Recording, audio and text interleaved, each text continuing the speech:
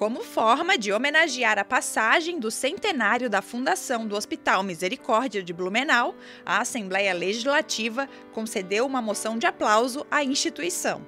O deputado Dr. Vicente Caropreso, proponente da honraria, destacou a importância da entidade pelos serviços prestados à sociedade catarinense. 100 anos não é sempre que se faz, e ainda mais com o seu Helmut Dunker, é, com 57 anos à frente da direção do hospital. É um ícone em termos de é, todas as direções dos hospitais filantrópicos e comunitários, é, ele dá exemplo. Quero aqui parabenizar o povo de Blumenau, em especial da Vila Topava, e também em especial o seu Helmut Dunker, que nos dá esse presente com a presença e com o discurso que ele acabou de fazer.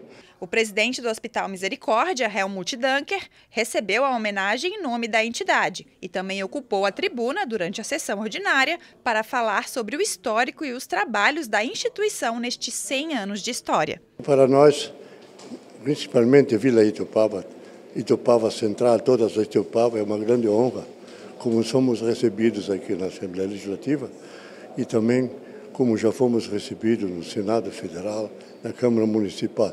Sempre para nós é uma grande honra ser recebido dessa natureza. Muito obrigado.